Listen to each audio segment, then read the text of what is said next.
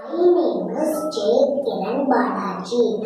I am studying in UKGF. I am studying in SBOA School and Junior College. Good morning, Indians. I am Mother India. I was healthy and wealthy in the past. I had plenty of minerals, resources, and crops. But now I am weak and buried. See the real color of me. All agricultural lands are changed to flats and plots.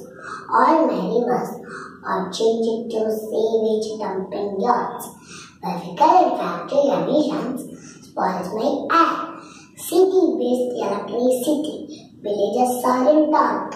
Many Indian brains are working for foreign countries. Now people think